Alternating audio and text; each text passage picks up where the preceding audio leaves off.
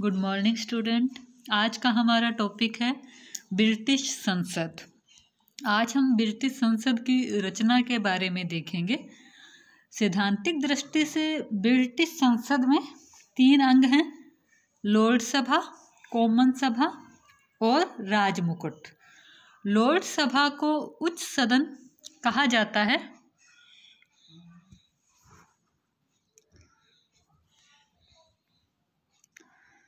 जो लॉर्ड सभा है, वह उच्च सदन है और जो कॉमन सभा है, वह निम्न सदन है। वास्तव में कॉमन सभा की शक्तियाँ लॉर्ड सभा की तुलना में बहुत ज़्यादा विस्तृत और महत्वपूर्ण हैं। व्यवहार में हम देखें तो कॉमन सभा को ही ब्रिटिश संसद का प्रायवाची समझा जाता है। इसके सदस्य हैं, वो छः सौ छियालीस होते हैं और इनका चुनाव जनता के द्वारा किया जाता है। कॉमन सभा की वर्तमान सदस्य संख्या मैंने आपको बताई है छः सौ छियालीस। और ये सब सदस्य निर्वाचित होकर आते हैं और इन्हें एमपी कहते हैं। जैसे हमारे यहाँ पे एमपी कहते हैं ना, मेंबर ऑफ़ पार्लियामेंट। या संसद सदस्य कहा जाता है, संसद के बाहर का कोई भी संगठन संसद सदस्यों को अपने पद से नहीं हटा सकता। संसद में अपने कार्यपालन के दौरान वो जो भाषण देते हैं, अन्य गतिविधियों में हिस्सा लेते हैं, उसके लिए इन सदस्यों पर मुकदमा भी नहीं चलाया जा सकता। अब हम देखते हैं कॉमन सभा का कार्यकाल। भारत की भांति ही पाँच वर्ष कार्यकाल है, लेकिन इसे इससे पहले भी भंग किया जा सकता है। या फिर संसदीय अधिनियमों के द्वारा इसका कार्यकाल बढ़ाया जा सकता है। कॉमन सभा अपने अध्यक्ष या सभा अध्यक्ष के अनुशासन में काम करते हैं। ये हमने ब्रिटेन की कॉमन सभा की संरचना देख ली। अब हम ब्रिटेन के उच्च सदन लॉर्ड सभा की संरचना देख लेते हैं। इंग्लैंड में एकात्मक शासन प्रणाली है। इसीलिए वहाँ दूसरे सदन के लिए ये आवश्यक नहीं कि वो राज्यों का प्रतिनिधित्व करे। और यहाँ पर जन साधारण के जो ये लोकसभा के मेंबर हैं, ये जनता के द्वारा निर्वाचित नहीं होते। इनमें कुछ तो वंश परंपरा से लोकसभा की सदस्यता पाते हैं। या वे पुरोहित वर्ग के उच्चाधिकारियों के नाते लोड सभा के सदस्य माने जाते हैं, या फिर उन्हें विशेष योग्यता देश सेवा आदि के लिए जीवन भर के लिए लोड सभा के रूप में, मेंबर के रूप में मनोनीत कर दिया जाता है। अक्टूबर 1999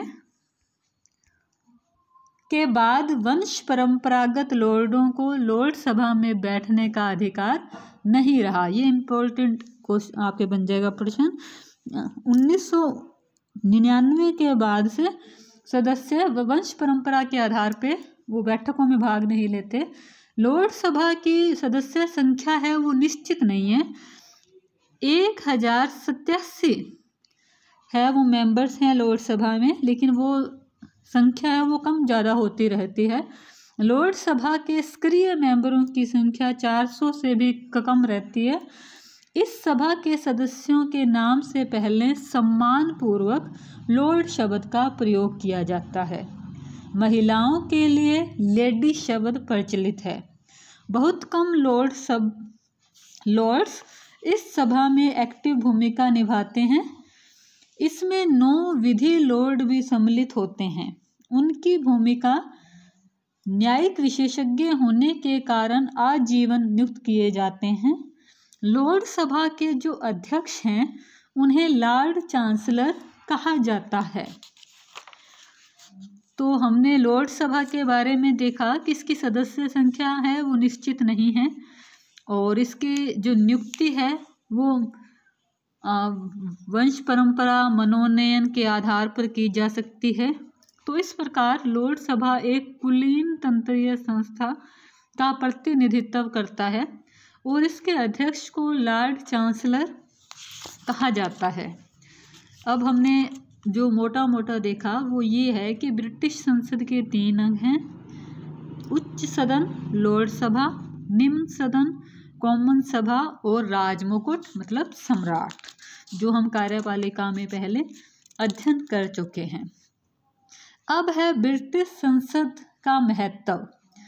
तो इसके बारे में ए वी डायसी ने कानूनी दृष्टि से संसद की संप्रभुता इंग्लैंड की राजनीतिक संस्था की प्रमुख विशेषता है।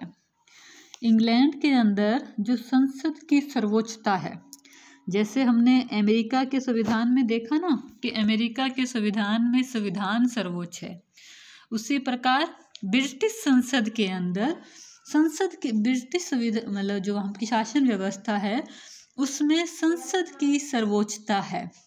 ब्रिटिश संसद को संप्रभु संपन्न मानने का मुख्य कारण क्या है कि वहाँ कोई लिखित संविधान नहीं है। शासन प्रणाली से जुड़ी हुई प्रथाएँ, न्यायिक दृष्टिकोण और संसद के अधिनियम ही वहाँ के संविधान के आधार हैं।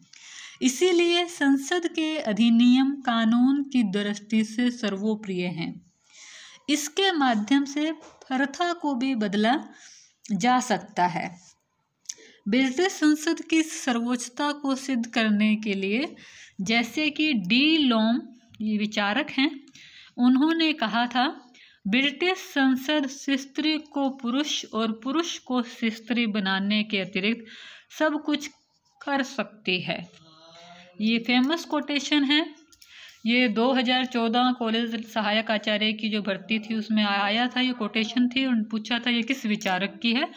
तो डी लॉम है। मतलब महिला को, पुरुष और पुरुष को महिला बनाने के अलावा ब्रिटिश संसद सब कुछ कर सकती है। यह ब्रिटिश संसद की सर्वोच्चता के सर्वोच्चता को सिद्ध करती है। धन्यवाद स्टूडेंट कल हम संसद के कार्य पढ़ेंगे।